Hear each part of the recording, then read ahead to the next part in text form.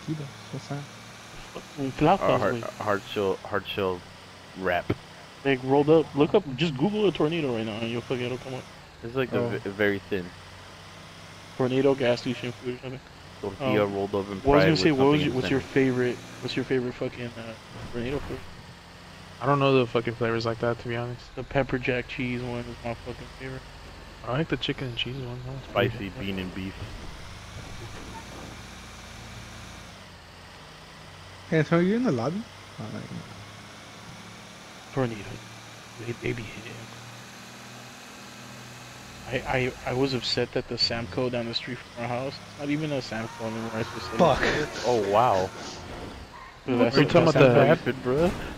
I Talking about that gas station that uh, right next to uh, the barbershop? Bro, you No, hit my no, no, car. no. Um, yes, yes, yes. It's not a gas station. dude. I don't know why it's a gas station. Yeah, Liquor store. yeah, that it used to be a Sam